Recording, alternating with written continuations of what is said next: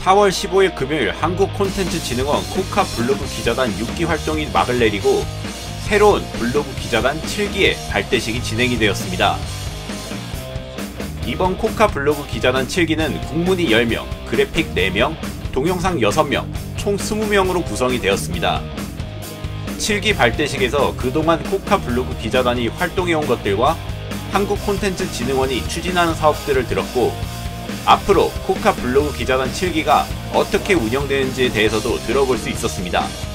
작년보다 더욱 체계적이고 재미있고 신선한 콘텐츠들이 무장되어 있으니 열정으로 똘똘 뭉친 블로그 기자단 7기들의 활동을 앞으로 기대하셔도 좋습니다.